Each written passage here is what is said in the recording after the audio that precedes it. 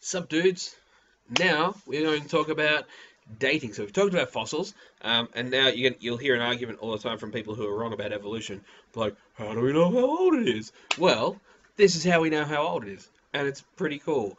Uh, we'll get technical, not too bad, uh, but at the end it's, it gets some, into some heavy stuff. So hang in there, um, take some notes, ask questions. All right, we'll see you there. Let's go. Um, oh, natural clocks this is the last time I'll use this phrase, probably. Natural clocks basically are things we can use in, in nature to tell how old something is, or tell the time of when it was done. So, uh, what's the point? Basically, you want to be able to differentiate between relative and absolute dating. Those are two different terms. You need to know what they mean.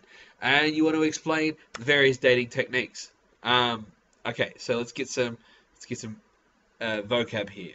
Relative and absolute dating, or relative versus absolute dating. Ooh. So relative dating, basically the age is known by comparing either a fossil or a layer of rock or something like that with other ones. The actual age isn't known, but we know the order of when they're laid down or or the order of how old things are. So we can grab a, a chunk of rock and go, this part's older than that part. I will get to that in a second. Um, absolute dating is where we know the actual age of it. We, we can work out within a certain degree of certainty, but if you're ever worried about how accurate we are, we're probably talking about it more accurately than we know your age. So that's cool. But yes, um, absolute dating is when we know the actual age of the fossil to whatever level of certainty. And again, it's pretty certain. We're pretty good. Um, so, relative dating. Basically, it relies on two simple facts, two laws.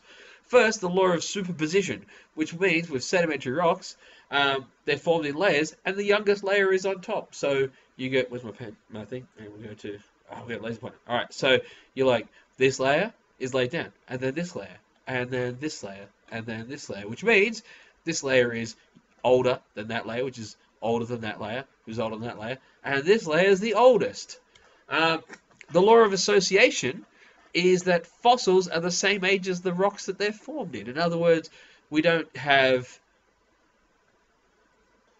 like 10 million year old rocks here and I don't know, like 5,000 year old fossils. That's not the way it works. If the rock is made there, the fossils are made at the same time. Um, so, how do we do it? It's we, we do relative dating with something called stratigraphy. It's a great word. Um, know it.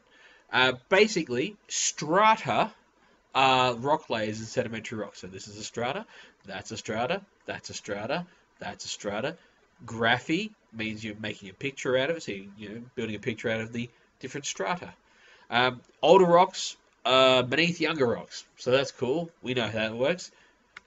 Except sometimes it's not, which means we need to. We can't just go for one site. We need to compare it. So when you have tectonic plate activity, sometimes the rocks come together and they're like, here, here, here, here, and then they go, and they bend, and that means that the rocks up here are younger than the rocks here. That's cool, but because this is bent over, the rocks on the bottom here are also younger than the rocks which are going to be on top of it.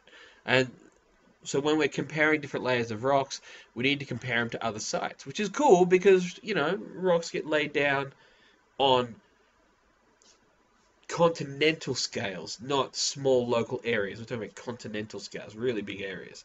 Um, and here's an example from a road cutting that you'll see um, what you can see is that the rock is actually a really good example because the rock bends along here. See that layer? So you see the rocks are in layers that are kind of um, on an angle, and here the rocks are in a layer like this. So if you dug straight down um, here and you kept going, what is what's fair to assume is that the rocks are doing that so if you dug straight down, by the time you got to about here, I don't know why I pointed as if you can see what I'm pointing at. Um, if you get to about here, the rocks are going to probably be younger than the rocks above it for, uh, for a little while.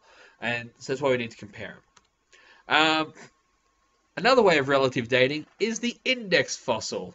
Um, check it out, a horseshoe crab. They're awesome. Um, so basically, these are individual, generally individual fossils are usually found in like one spot and at one time because species are fairly local. Um, however, there are some which are found globally, almost, or, or all over the place.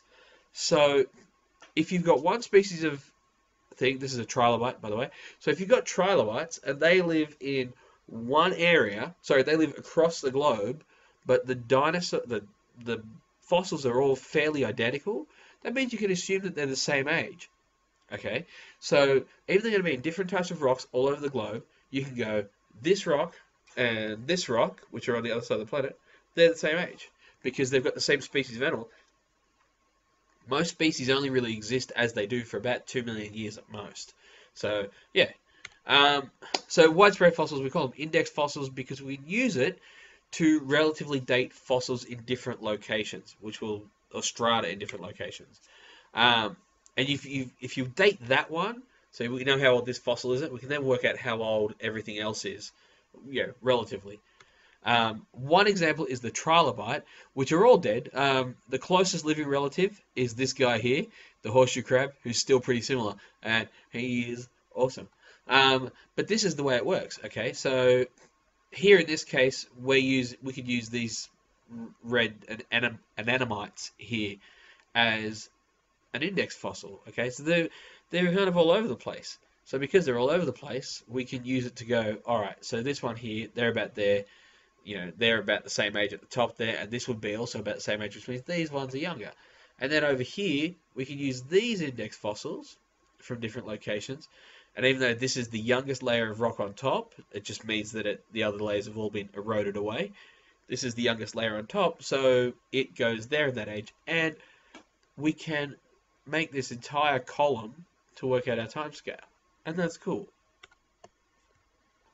Now we're going to look at absolute dating. There's a couple of different ways to do this. This is where we work out the actual age.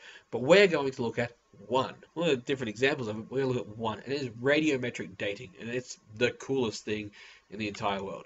Um, so radioactive isotopes, which you'll remember from our, our chemistry stuff, or physics that we've done earlier in the year and in year nine. Um, so a radioactive isotope is a different version of an element because it's got a different number of neutrons. And these guys, these guys, they'll break down, they decay. So they break down, I should say, slash decay into other elements. Uh, one example of this is potassium decaying into argon. Um, I think I've got a picture there of how it's happening. Okay, so they have a potassium nucleus, decays. So what this means is one proton, which is what defines the atom, how many protons there are, falls apart and it turns into both a neutron and an electron. So that's what a proton is. A proton is a neutron plus an electron stuck together, sort of. Not really. Um, it falls apart and it makes a neutron and an electron. And this, because it's one proton down now, it turns into an argon nucleus. Cool. It takes, uh, all right, so in a half-life of the isotope, half of all of that original or, or father or mother element, half of that will decay into a daughter isotope in its half-life. So, for example, potassium argon over here. All right, well, actually, here's a good way. In the original rock as it comes out of the volcano or whatever, um, your potassium is going. It, the rock will have 100% potassium and about or radioactive potassium and 0% argon.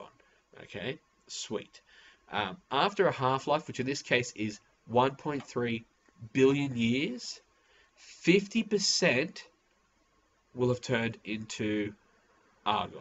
Okay, so half of it's turned into it. Then, after another half-life, another 50%. So the ratio is 1 to 0, 1 to 1.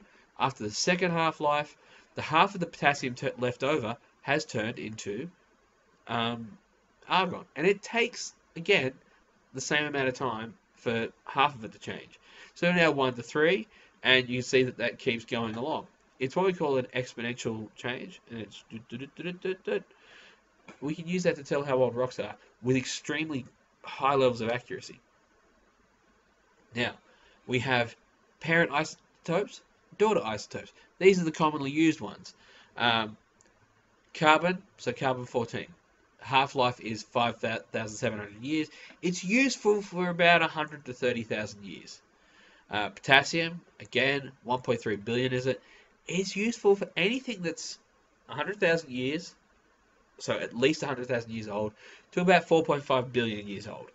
That's how old the Earth is, so that's cool. But the really good thing is we don't just use one. Okay, if we're looking at rocks that are older than 100,000 years old, that's most rocks, we're not just going to use this one. We're also, if they're present, going to use this one to check it, and these ones to check it. Now, this is the really important thing. We don't take one date. We compare it against other dates. So we we don't just go, we're going to use potassium argon, and that's it. We'll use potassium argon, we'll also use rubidium strontium, and we'll also use uranium to lead, and we'll compare them. And that's really important. It's really important that you have more than one line of evidence to put your ideas together, to correlate it, to back them up. Um, this becomes important all through our talk about evolution.